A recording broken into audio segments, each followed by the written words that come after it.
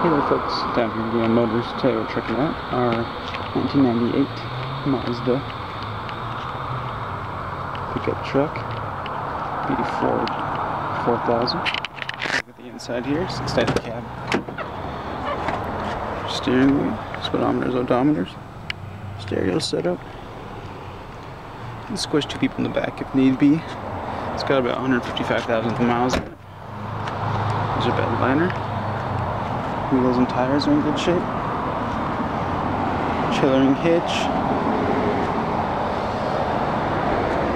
Exhaust.